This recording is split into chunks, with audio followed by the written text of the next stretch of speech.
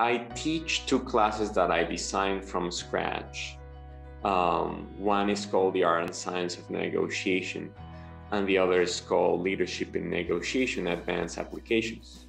The first class has a long history at MIT, had been taught for many decades by excellent faculty for many years. And when I was entrusted with, with running the show for the first time, uh, as MIT often does, they they gave me the space and the opportunity to start from scratch and rethink what should be the approach. Counter to what you'll see in many other trainings, the way I structure the syllabus in, the, in our classes follows more of a spiritual journey rather than a technical step-by-step approach to how should you engage in a negotiation. And by that, I mean that sometimes perhaps people will be like, let me first teach how do you open the conversation negotiation? Then how do you create enlarge the pie? Then how you divide it? Then how you close? And the way we go about it in in in, in class is much more full of curveballs so that you don't necessarily know what part of the journey we're exploring and therefore you have to reveal much more of who you are what you believe what you think is fair at the moment. And it's that contrast which mimics life much more that allows us to to identify on a weekly basis okay, how are students responding to the materials?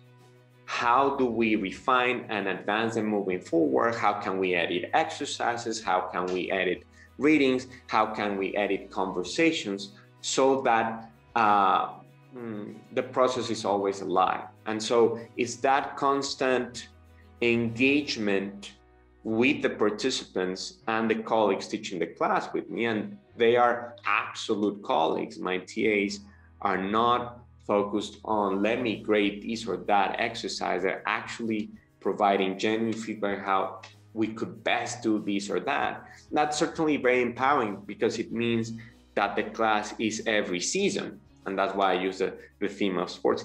Every season it's different. We may have a playbook, but that playbook better change based on what our players showcase it's most important to them. The Zoom dynamic certainly creates 36 black boxes within your torso. The communication, therefore, of what you're going through differs. But what you still control, both them and, and, and we on the on the teaching side, is that level of enthusiasm and attention that you bring to the table to the reactions that we'll still see there.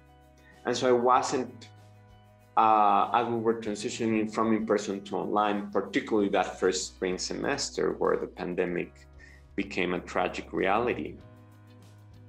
I think that the main message that I wanted to convey to my students was we're keeping 100% of the learning objectives. You've devoted so much passion to hope that you get a spot in a lottery in our class. And as we transition to online, we put we will put our heart to ensure that you get that entire experience. And it meant uh, that the first step was that positive mindset that everything is achievable. And so uh, the class is a touchstone to awaken in you a sense of, of, of insights. And it's up to you as a lifelong learner then to take the steps to manifest a certain set of virtues uh, that will ask you to unfold and evolve as I saw. And so that takes time, that takes commitment, and all the credit to our students being willing, brilliant enough to realize that the fact that we were moving from in person to online did not change at all that responsibility. And on the contrary, we could lead a set of innovations in how we delivered our materials and experiences so that this journey would be honored. That process, traditionally live, has seldom a record of it. And so you may recall what happened a certain way, but it might be very different how it was seen because we don't have a mirror that is usually conveying to us how we look like when we speak in what moments our emotions went in this or that direction.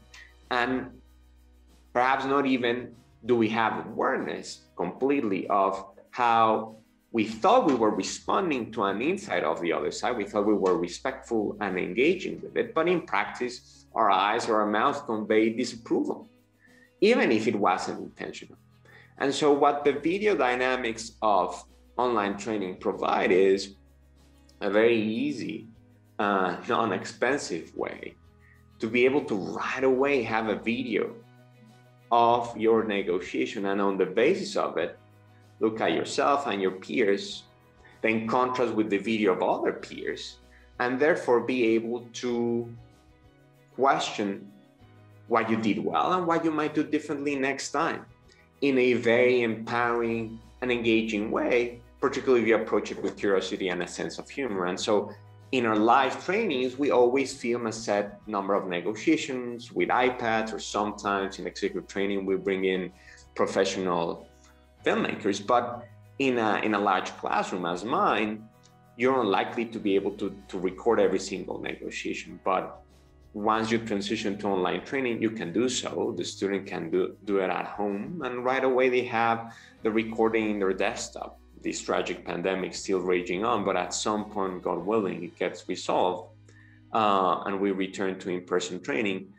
Some of our negotiations will still now continue to be carried out uh, through digital means, not only because the world is moving into a direction through which significant meetings on the business side of the equation or government equation will happen uh, through video conference, but because it will also empower our students to have an immediate feedback insight through the filming experience that they'll have. And so I've always realized that in every heritage that you have, either of your nation, your culture, your religion, you have agency in determining what you choose to focus on. And there's enough wonder, sacrifice, drive, love there in the world to follow an example from. And so when I teach and, and, and in my relationship with every student, that's the energy that's driving the process. As soon as I start negotiating, my main focus is not let me see what is that they're doing that is wrong rather humility to right away embrace and be joyful about everything that they're doing right and build on that and communicate it and express it. And it's not a given. The student has to have that same attitude towards their peers. And so in negotiation, in, a, in my class, certainly, it is not okay to, to phone it in because if you don't come in prepared and really giving your all to the negotiation, the person you're hurting is not only yourself, but the person who was going to negotiate with you or the larger group who was going to negotiate with you. And that sense of reciprocity, of responsibility for the other, if we can manifest it in the classroom, both in how I prepare and how the students prepare, enlarges not only the themes we can explore, but the impact we can have socially, because then we can really discuss that when you're negotiating, as some of the great experts in the field explain, is not about how can I have an effective deal with the person in front of me. That's achievable. Any brilliant mind can make it happen. But actually, how can I have the conscience, the awareness to be responsible for what happens to the larger society being impacted by my decisions? And it's that level of responsibility, of reciprocity with one another that even extends beyond a classroom, extends beyond an organization, hopefully extends beyond a community, a city, a nation, is what's necessary. We want to see different leadership in the world. The world is full of human beings that found a way to acquire power, resources to benefit themselves. Across history, cultures, political systems, you name it, it's pretty obvious. But doing the opposite through the way in which we think, we speak, and behave, that really requires moral stature and drive and strength. And hopefully, our classes are one step in that journey that I trust our students to, to manifest in this world and genuinely make it a better place because they found that voice, that inner voice that guides them to really put some magic in this one.